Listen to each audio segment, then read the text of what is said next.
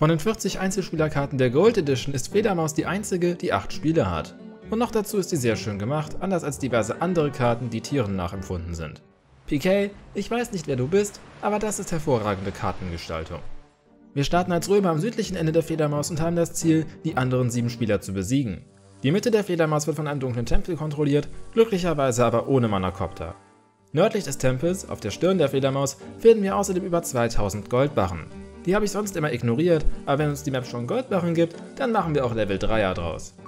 Die linke Seite der Fledermaus wird von Team 3 kontrolliert, die rechte von Team 4. Jedes Team besteht aus einem Römer, einem Wikinger und einem Maya. Auch was Gebirge angeht, hat Fledermaus einen relativ einzigartigen Ansatz. Gebirge werden als Konturlinien genutzt und in diesen könnt ihr alle Rohstoffe finden, wobei Stein ziemlich rar ist. Dieses Steinvorkommen funktioniert in meinem Run auch so gar nicht, trotz zweier Versuche. Die restlichen Rohstoffe funktionieren aber besser als erwartet. Da die KIs auch untereinander verfeindet sind, müsst ihr tatsächlich nicht wirklich mit Angriffen rechnen. Sichert einfach die rechte Seite mit ein paar großen Türmen ab und expandiert ansonsten stetig weiter. Die KI kann auf dieser Karte nicht gut expandieren.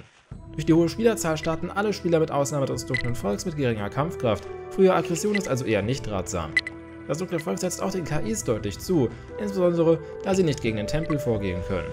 Team 4 wird sich langfristig wahrscheinlich als überlegen erweisen, durch die ständigen Patrouillen auf die linke Seite werden sie aber regelmäßig in die Flammen des Tempels laufen oder mit dem dunklen Volk in Konflikt geraten. Ich kann aber empfehlen, den grünen Spieler zu erobern, sobald er etwas geschwächt wurde und ihr eure ersten Soldaten habt. Der nächste Zwischenstopp war bei mir das dunkle Volk, weil ich den Goldschatz haben wollte.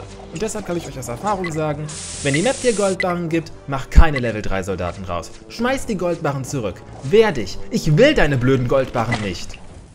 Jetzt denkt ihr vielleicht, wieso beklagt sich dieser Typ über 2000 Goldbarren, die einfach da oben rumliegen? Ganz einfach, weil die zu holen ein größerer Krampf ist, als 2000 Goldbarren selbst zu produzieren.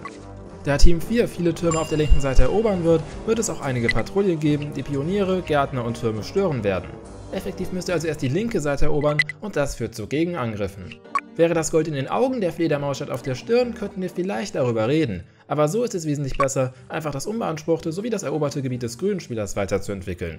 Die Karte ist sowieso riesig. Am Ende muss ich mal wieder mit den Türmen der beiden letzten Gegner Wo ist Walter spielen. Und sie haben eine absurde Menge an kleinen Türmen gebaut.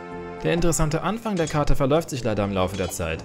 Ich denke, es wäre hilfreich gewesen, wenn die KIs mit voll besetzten großen Türmen starten würden, damit sie sich zwar bekämpfen, aber nicht so schnell gegenseitig eliminieren aber trotzdem halte ich diese Karte für eine der interessanteren.